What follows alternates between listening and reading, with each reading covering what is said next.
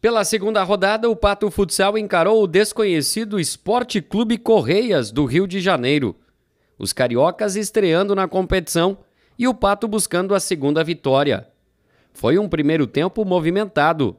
O Pato com a iniciativa e o Correias tentando surpreender nos contra-ataques. Apesar do volume de jogo, o primeiro tempo terminou em 0 a 0. O torcedor que compareceu ao Dolivar Lavarda ficou na expectativa para ver o Pato balançar as redes. No segundo tempo, seguiu no mesmo ritmo. Pato criando chances, mas parando no goleiro Bruno. O Correias é da cidade de Petrópolis e os jogadores não têm salário fixo, recebem uma ajuda de custo. Mas em quadra a vontade prevaleceu, fazendo jogo duro contra o Pato.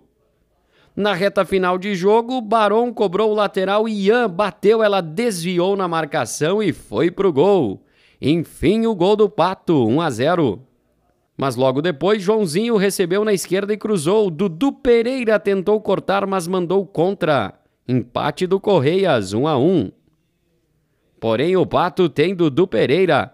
Ele recebeu de Barão na canhota, cortou para o meio e achou espaço para soltar a bomba sem chances para Bruno. Dudu Pereira, Pato Futsal 2 a 1.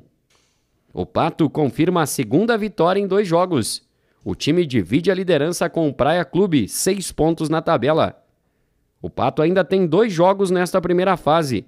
Na terça contra o Jijoca do Ceará e o confronto direto na quarta-feira contra o Praia Clube. Os dois melhores do grupo avançam para a fase semifinal.